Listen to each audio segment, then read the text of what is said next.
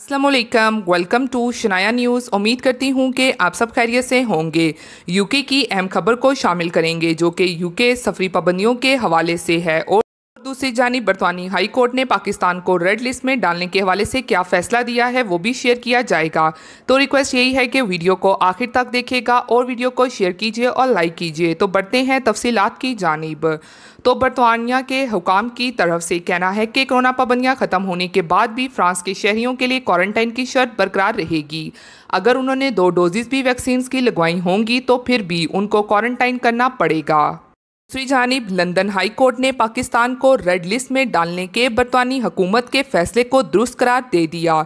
London high court ने अपने फैसले में कहा है कि पाकिस्तान को रेड लिस्ट से निकालने का फैसला बरतानी हुकूमत ही कर सकती है। वबा से निमटने के लिए हुकूमत के फैसले दुरुस्त हैं। ख्याल रहे कि पाकिस्तान को रेड लिस्ट में डालने के बरतानी हुकूमत के फैसले के खिलाफ बरिस्टर जोहाब जुमाली समेत तीन पाकिस्तानियों ने अदालत से रुजू किया था। लंदन हाई कोर्ट में दायर दरखास्त में मौक़ इख्तियार किया गया था कि पाकिस्तान में केसेस कम होने के बावजूद भारत से पहले क्यों रेड लिस्ट में डाला गया। लेकिन अब एक बार लंदन हाई कोर्ट ने भी पाकिस्तान को रेड लिस्ट में डालने के बरतानी हकूमत के फैसले को दुष्करार देते हुए कह दिया है कि हकूमत के फैसले दुरुस्त हैं। आने वाले वक्त में पाकिस्तान इंग्लैंड की रेड लिस्ट से कब निकलता है ये अभी कुछ भी इसके बारे में कहना कबल अज वक्त होगा।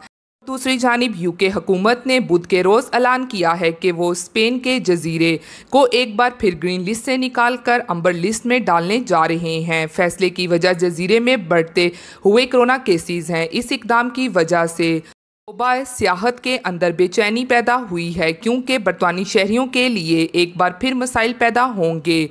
क्योंकि ये जजीरा उनका पसंदीदा सियाती मुकाम रहा है। क्योंकि बलैरियक जजीरा इनका पसंदीदा सियाती मुकाम रहा है। ताहम अब की बार इस इकदाम में कुछ नरमी करते हुए बरतवानी हुकाम ने अंदिया दिया है कि स्पेन से वापस लौटने वाले मुसाफिर जो मुकम्मल तौर पर वैक्सीनेट होंगे, क्वारंटाइन नहीं किया जाएगा। पानी सेक्रेटरी ब्राइट ट्रांसपोर्ट ग्रांड शॉप ने ऐलान किया है कि नई पाबंदियों का इतलाक 19 जुलाई पीर के रोज़ सुबह चार बजे से होगा। के मौजूदा रूल से इंग्लैंड के रिहायशी मुतासर होंगे। हेल्थ केयर के तकसीम दर तकसीम मराकज़ होने की वजह से स्कॉटलैंड, वेल्स और शुमाली स्कॉटलैंड अपने क्वाद वापित वाजिया करेंगे। ताहम वेल्स और स्कॉटलैंड ने पहले से ऐलान कर रखा है कि वो मरकज़ी हकूमत के फैसले की पासदारी करेंगे। ये थी आज की अहम तरीन अपडेट जो आप लोगों के साथ शेयर की गई है। उम्मीद करती हूँ कि पसंद आई होंगी। इसी के साथ फिर मिलती हूँ मैं आप सबसे लेटेस्ट अपडेट में। तब तक आप सब अपना बहुत ख्याल रखिएगा। थैंक यू खुदा हाफिज़।